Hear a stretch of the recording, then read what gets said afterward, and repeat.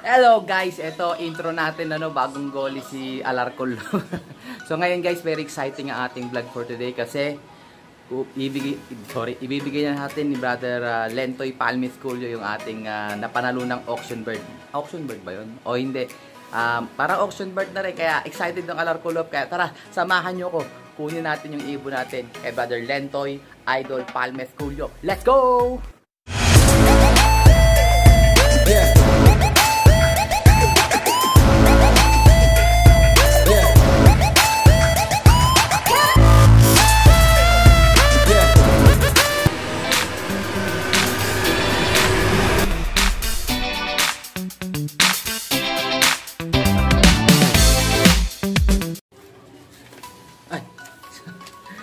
Mga kalapatid. So, no, tambay muna tayo dito while waiting for uh, yung PM sa atin ni Brother Idol Lentoy, pa Lentoy Palmes Studio. No? Very excited na ako kasi magkakaroon na tayo ng Super Brusco line. So, champion line yun yung Idol pa Lentoy. No? Kaya, binigyan tayo ng pagkakataon na makakakuwer sa kanya ng ibon. So, yung ibon na yon um, share ko lang din, tsaka salute sa'yo, Idol, no? Um, yung ibon na yon binili ko for uh, 1,500.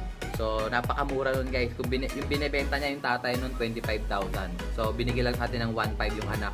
Pantulong lang sa mga nangangailangan nitong nakaraang ano, uh, nagpa, ano siya, nagpa-relief goods siya. Kaya, salute sa'yo, Idol Lentoy.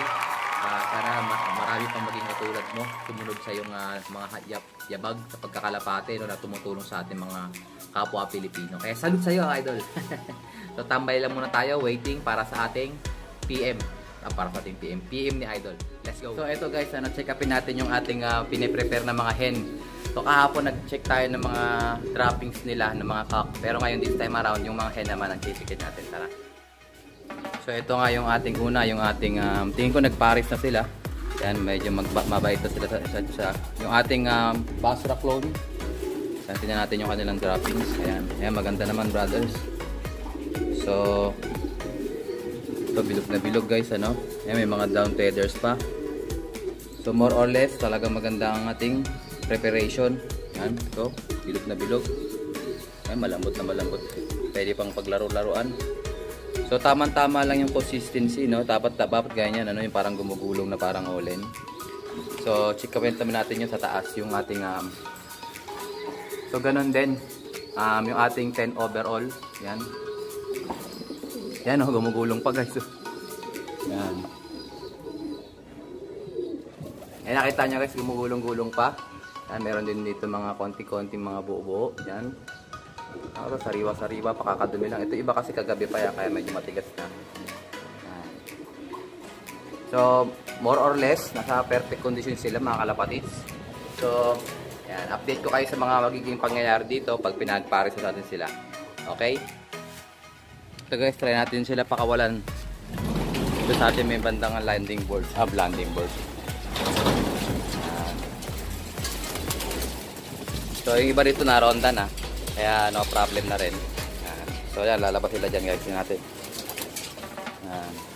Ngayon pala sila dyan papakawalan guys. Tingnan natin kung may lalabas dyan. yan. So, medyo mataas yan guys. Wala silang tutungtungan dyan. Kundi yung ating landing board. So, yan talaga ang release ng ating uh, loft. Yan sa bandang gilid. So, yung mga marunong na lumipad, yan, lilipad-lipad na pupunta sa bubong. Yan. So, yun ang takbuhan nila yung bubong. yan.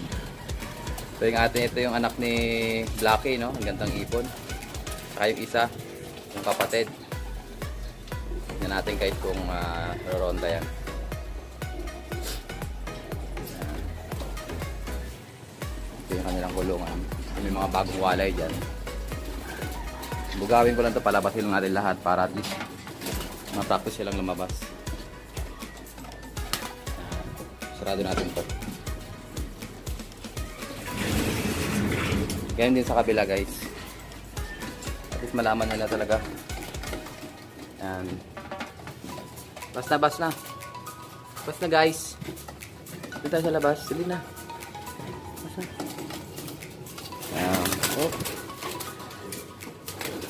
Ito rin.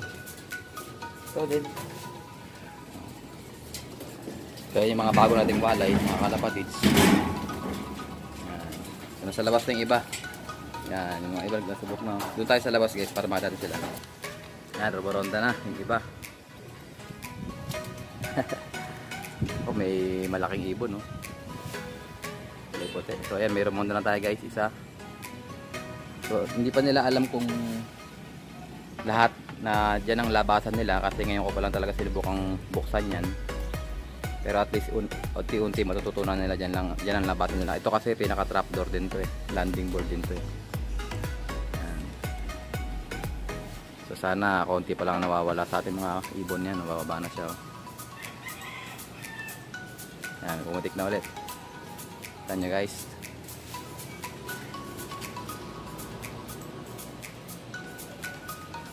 Kaya natin silang kusang lumabas at mag-explore sa ating ah, loft facilities. Ganyan lang yan guys. Natin sila lapit lapit. Ano sila guys oh. Alam nila kasi dito ang daan eh. Pero ngayon bago na. May bago ng style. Ano pipiti ka na guys oh. Yung iba dyan batcher na pero hindi pa lumalayo. Kasi siyempre Diyan diyan pa lang sila lumiikot-ikot. Pitik-pitik pa lang. Yan. Yan. Sanay na sila dyan.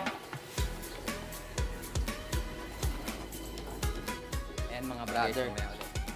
Ah, nag-text na si brother Idol Lempoy. So baba na tayo, puntahan na natin yung ating ibon. so dito na natin hintayin si Idol Lentoy, no? So dito kita-kita yung mga ibon natin, nakatambay sa labas. Nandun sila sa bubong. Tingnan nyo guys ha. Ayun sila guys sa taas. oh. Yan, open loft na naman sila. So ayun na yung kanilang ah, pinakatambayan. May mga umiikot-ikot. Ah, sana walang mawala no. Yan. So kanina umikot sila. Nagsabog-sabog sila. Ayan, saglit lang tapos baba na rin ulit. That's it.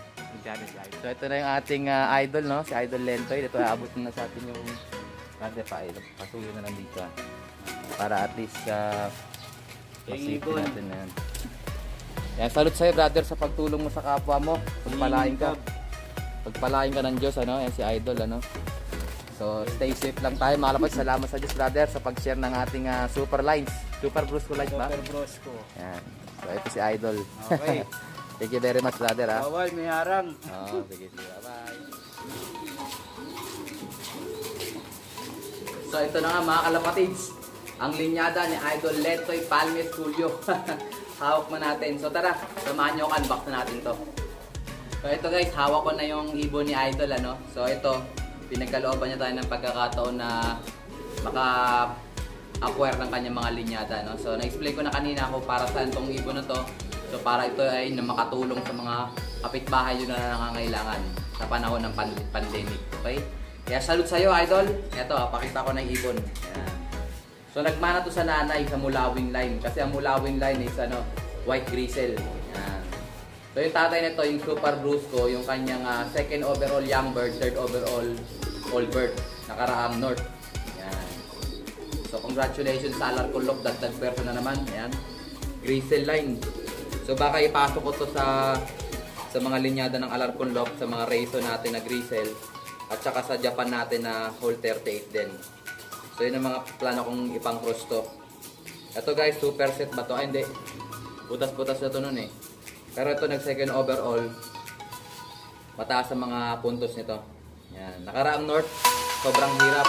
So, nag second overall siya, third overall bird. So, saya-saya ko mga kapatid. Pa- pa- finally, ay nakakuha tayo ng linyada ni Idol. Kaya salute sa'yo ulit, Idol. Ganito lang ating video.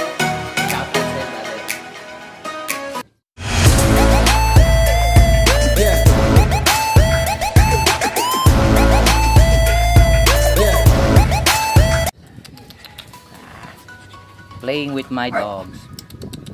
Si Tiger talaga masyadong masungit eh. Buti pa si Kulot oh. Tiger, come! Tiger!